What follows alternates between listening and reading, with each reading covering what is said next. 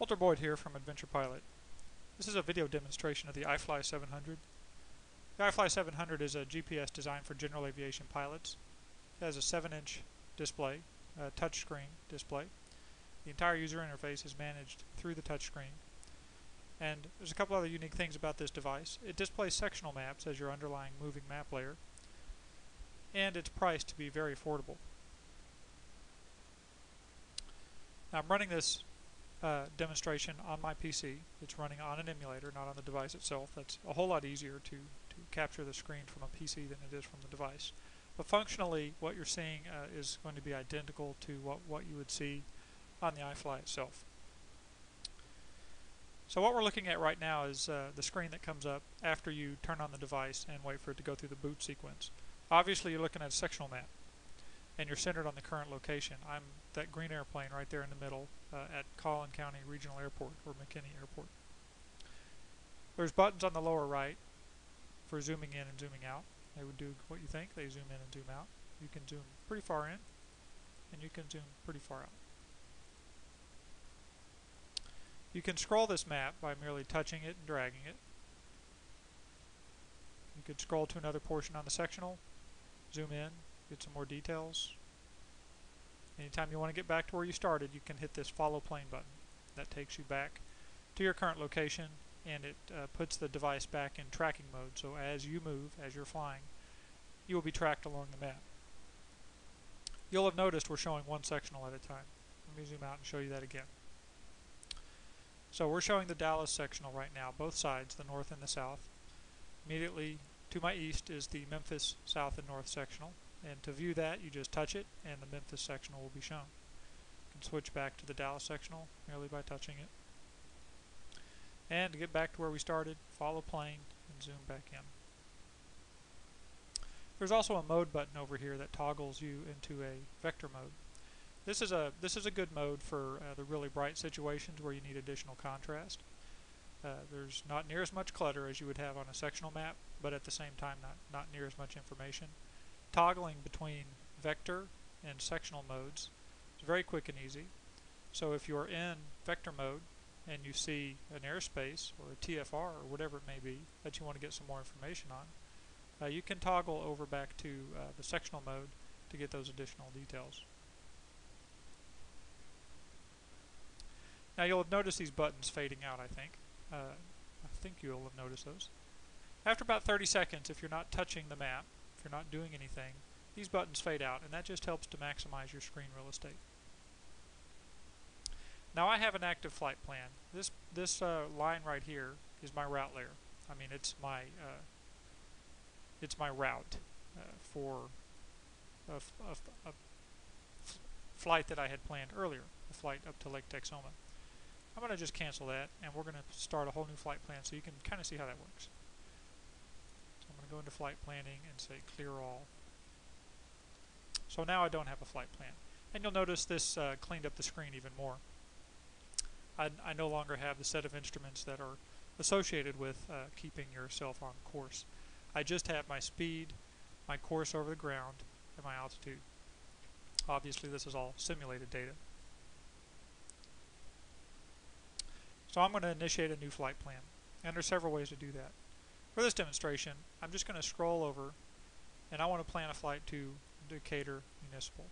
This is Decatur Municipal Airport. I'm going to hold my finger on the screen for about two seconds and then I'm going to click fly direct to here. And I'm going to select the airport. And that drew a line directly from my current location to Decatur. Now, if I didn't want to fly through these uh, Class Bs with the low ceilings, it's very easy at this point to modify my route by simply touching the route line and dragging it to where I actually want to fly.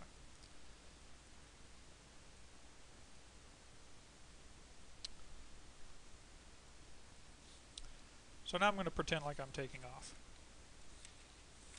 I'm going to crank up my speed on my emulator. I'm going to put it back in follow plane mode.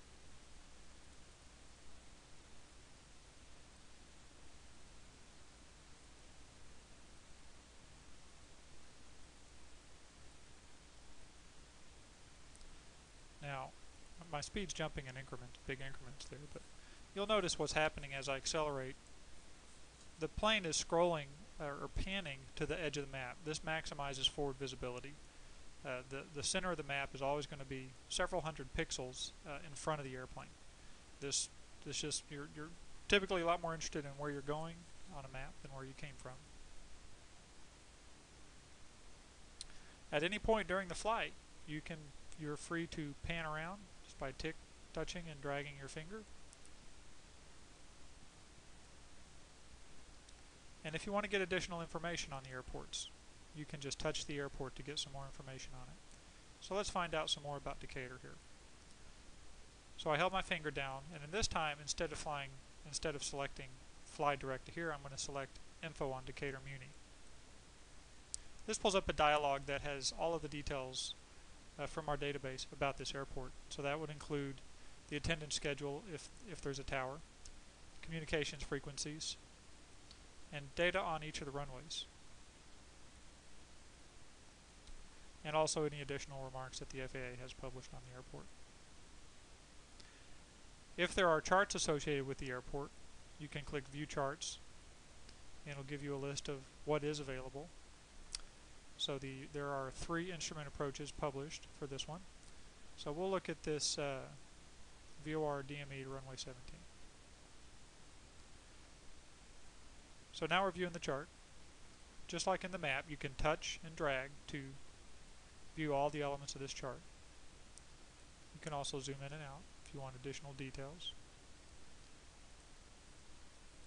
or just a bigger overview.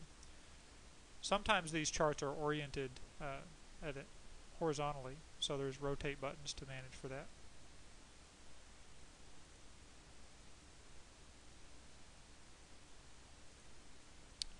And you can also get information on airports en route. I've overshot my turn. Let me go ahead and fix that real quick. Get back on course.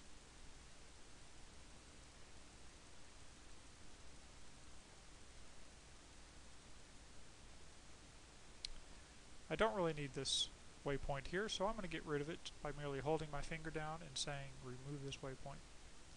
You can also do interesting things with your route line while you're while you're actually flying. If you did want to divert to another airport, you can hold your finger down and say add waypoint here to this airport and it will divert your line accordingly.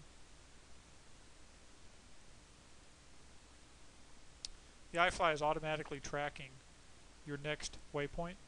So it noticed when I went around that corner that I should be now targeting my final waypoint, so it's automatically managed that for me.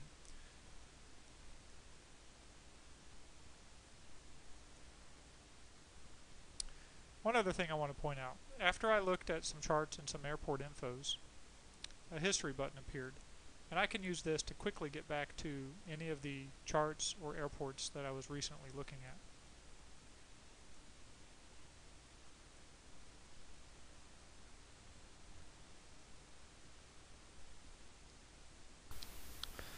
That concludes my uh, brief demonstration. There's a lot more functionality and capabilities in the iFly. Feel free to look us up at ifly.adventurepilot.com. You can also look up information about our company at www.adventurepilot.com. You can also get some great destinations and some find some good excuses to go flying at that website. If you want to contact me directly, you can reach me by email, walter at adventurepilot.com. I look forward to answering any additional questions you have. Thanks for watching.